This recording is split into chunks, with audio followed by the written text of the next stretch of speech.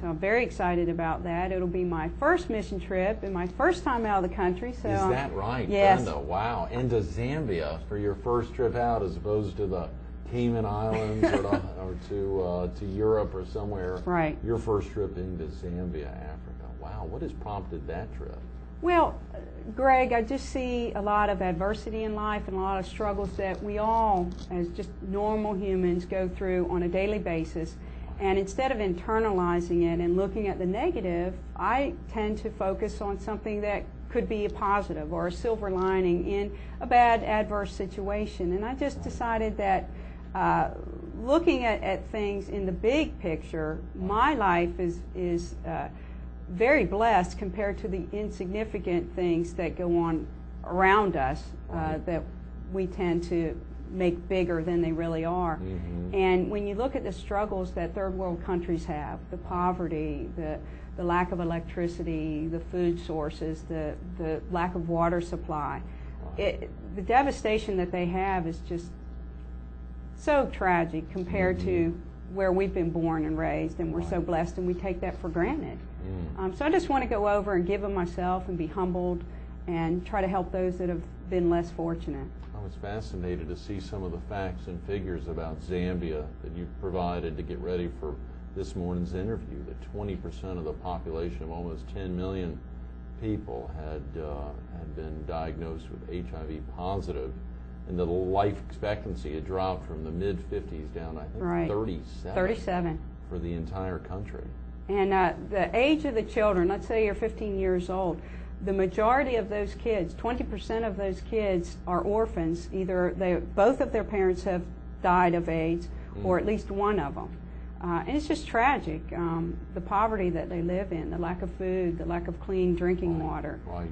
Absolutely unacceptable. We had a guest about a year ago from Carolina Forest, J.J. Iguli, who had visited with a group of locals uh, from the Carolina Forest area, and he and his wife had actually lived over there for an extended period of time and had every effort to continue to go back. How did you get involved with the group here? You said this is at is it Palmetto Shores? Palmetto Shores Church. Um, I, I began attending there, I'd say in November, and by uh, early January, they were forming a new team. They've been over there four or five times. wow. This this group. The same group. Right, and uh, they're visiting a particular orphanage in Zambia, and then they're branching out to other villages in that area.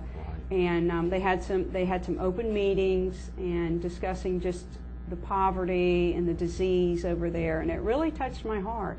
And uh, I just wanted to give of myself, and Right. they're affording me that opportunity to be able to do that. Have they actually shared with you what a typical day will be like over there, or have you gotten some idea? Have you seen pictures of their trips to get an idea? What exactly will you be doing, Brenda? Well, it's definitely not a vacation. There, we're going to an orphanage. There's roughly 45 children over Right. in that orphanage, and not Right. only will we be helping building and, and working basically in their village, we'll actually be ministering and witnessing to the children and then branching out into other areas of Mm. other villages. We'll also be taking over food supplies and other resources and tools for, for them to use after we're gone. Um, but we're definitely going to try to build like a playground for the kids that they have they don't have any playground, and then just do some general work and repair that obviously the orphanage needs. Tremendous, Brenda. And, and uh, is there a native language over there that you all have some proficiency in, or do they speak English, or do they not speak much at all? They don't speak much at all. There will be some interpreters on Right. hand that'll be translating for us. That's great. That's great. I know you'd, you'd gone through extensive efforts, as had the other 19 uh, men and women that are going to raise funds for the trip. Is that something you've con- are you continuing to raise funds, or any of the other members continuing to raise funds? I suspect they need uh, Oh, donations or otherwise across Right. the board in Zambia. Each uh, individual has to raise three thousand dollars to go on this. 3,000, Three wow. Mhm. and uh, I was blessed that uh, I had cycled with the police unity tour in 2006 and pretty much kept that as a hobby. So when the Myrtle Beach Marathon came in February, the day after the marathon, I actually sent out some support letters and said, "Hey, I'm going to ride this."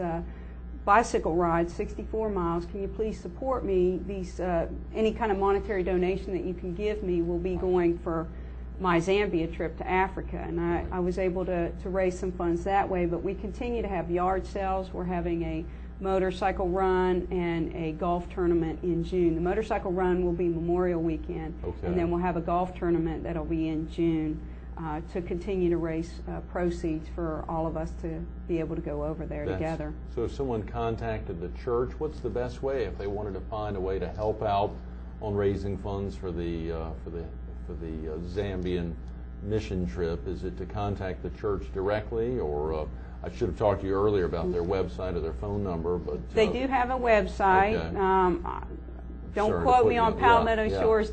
I don't want to say that, but it is Palmetto Shores. They're located at the Socastee Swing Bridge. Great, on easy to old, find. Yeah, old Highway 544. Right. Or obviously they can contact me, Brenda Christy, at 251-6757. Okay, and I'll great. be glad to direct them to uh, our pastoral staff or, or get answer any questions that possibly I can That's answer. tremendous. 251. 6757. I hate to ask you to give that all over the air, but at the same time, you obviously want to raise funds for the event, and uh, since I know you've done very well in your fundraising efforts, maybe not everyone else has finished Right. raising the funds, and I'm sure that the folks in Zambia wouldn't mind if you go over your uh, goal there and continue to raise more dollars. 843-251-6757, and the Myrtle Beach Herald, I think last week, had a lot of information. The church has got a lot of events going on in the next couple of weeks. I saw on our community calendar page, there's a lot of activities going on at the church. That's a Right. great new location, a very active church. Is that the church that's pastored by uh, Ronnie, Ronnie Bird? Bird, yes, sir. Yeah, formerly at the Myrtle, Myrtle Beach Community Myrtle Beach Church. Community I believe Church. a lot of folks know Ronnie Absolutely. Mm-hmm. up and down the Strand, and that must be a very exciting uh, place to be right now. It is. It's it's growing, and uh, we're just so excited for what God's doing and moving in all our lives, and we just want to share that not only locally but in other countries. hmm How about you, Brenda? What are some of the other things you do when you're not riding 250 miles or even getting out to promote some of the events or, of course, planning a trip? And tell us again the, the, the trip dates there to Zambia. We're going to be leaving here in Myrtle Beach July 31st Okay. uh, on a bus going to Atlanta, Georgia, and then we'll fly out from Atlanta to London, and uh, we'll be coming back from Zambia August 15th. So you'll be gone a full two weeks. Yes. That is amazing. Golly. And to think, again, your first trip out of the country being to Zambia. How exciting. It is exciting. I'm a little apprehensive, but I'm very excited and, and just hope that I can really do uh, the work that I need to be doing and I'm, that I'm humbly humbled by my experience. Right. You said the other 19 men and women. How many of them, uh, to the best of your knowledge, have been before and uh, will be experiencing for the second, third, fourth, or even fifth time? I want to say between seven and ten of them have So already been. And, yes, and, and they've gone multiple times to this area. Right. And they've seen the need, they've seen the struggles, and I, I'm just blessed to go under their leadership and, and help them uh, do that work. Y'all will continue raising funds all the way to July 31st. Absolutely. So another almost three months now, little more than three months, uh, May, June, and, and much of July. Right. To raise funds. That's fantastic. Well, you know, obviously a, a big focus here on the Police Unity Tour, and to know uh, on that stretch, that 250 mile stretch, the entire stretch you said is how long for the officers that are actually traveling all the way from Georgia up to the uh, the, the facility there in, in Washington D.C. To Washington to the Memorial Wall is 950 miles. 900. How many how many officers would actually be doing that entire 950 mile trip, Brenda? Actually, it's just usually 12 to 15 Okay. riders. Right. But then once we get into Chesapeake, there's 350 more riders that join that, and total could be as much as 600 riders. Is that right? And they're all law enforcement officers. I was about to ask, is it, does anyone ride that's not a law enforcement officer? No, this is uh, strictly for officers that are riding and that are active law enforcement officers, and they're Mhm. riding for officers killed in the line of duty. hmm And clear, we just got a couple of minutes. Clearly, they're out raising funds. Uh, is it possible to still provide any funds for the police unity tour? Absolutely, Okay. absolutely. Um, you can contact me Right. Again, 843-251-6757, and we still have open accounts for that cause. Absolutely. You know, it's so important when you think about every little every little dollar, any dollar that can really be added, whether it's to a scholarship at Webster University in memory of Joe McGarry, or uh, to the Police Unity Tour, and for the dollars that are raised for that. Uh, I assume at some level those dollars are spread back to families or otherwise. How, what are most of the dollars raised for the tour itself? Where do those dollars go? Well, the Police Unity Tour has to maintain the memorial wall. Okay. All the uh, names, as I said, the 300 officers that were killed in line of duty, their names will be inscribed in that wall. Right. And they're also building a police museum and research facility on those grounds. And that's scheduled to open in 2011. Okay. And all the money that is raised will go to the new facility and the construction of that new facility, as well as concerns of police survivors. Some of those funds actually do filter back into surviving family members for officers killed in the line of duty. Critical, critical. Absolutely. Again, Officer Scarborough back in the 1940s.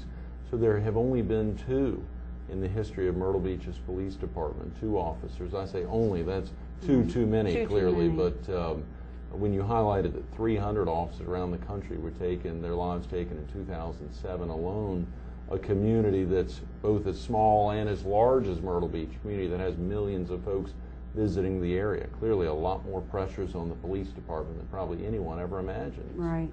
Probably anyone ever imagined. So, uh, Officer Scarborough, and you said what year was that? Brenda? 1949, and, and Greg, back in 1949, there were no compensation for surviving family num- members. Nothing had been set in place. It was almost unheard of that uh, you would suffer a loss of that kind. Uh, so we're really blessed to not only make the public aware of it, but to be able to provide some, some funding and some assistance to these families. And one of Officer Scarborough's daughters, I believe, has really uh, been thrilled with the recognition that y'all uh, not had finally provided, but were providing in a different way, as you say, uh, be, helping to recognize uh, her family Yes. and him uh, for his loss of life there. Yes, she, she lives here locally. She lives in the Garden City area, and she was actually 15 years old when her father was killed. Mm. And um, she was just happy that we recognized that, and uh, gave her some peace of mind that he was a police officer when he was killed. Even though it was his very first day, he was still a police officer when he died. Boy, Brenda, that's tremendous. Thanks so much for being with Thank us you this so morning. I'm sorry we've run out of time. Thank you so much. Enjoy being here. Absolutely. Stay tuned to more Carolina People to Officer Brenda Christy of the Myrtle Beach Police Department coming up next. Take the time, get out the pen and paper. We got three big events here one international, one national, and one very local, all of them tied together. The common purpose of making a difference in others' lives. Think about this kicking off this Thursday, May 1st, down there in Glynco, Georgia. 12 to 15 officers riding an entire 950 mile trip. They're going to be coming through here in the Myrtle Beach area on uh, this Friday, May 2nd. Think about it, 7:30 a.m. to recognize a special ceremony there to recognize Officer Gary of the Georgetown Police Department rolling up into Myrtle Beach at 10:45 to, to honor and recognize Officer Scarborough at Ocean Woods Memorial Cemetery. And then the, the ride continues right on over to the Ted C. Collins Law Enforcement Center at 11:30. That's this Friday. Get out there, help recognize Officer Joe McGarry. His family will be there.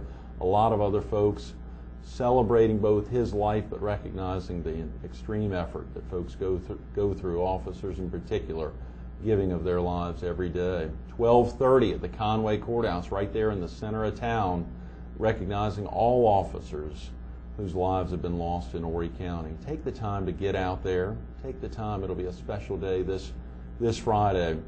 We heard Brenda talk about another very special event kicking off on July 31st as they ro- roll down to Atlanta and get on that flight over to London and heading over to Zambia, Africa.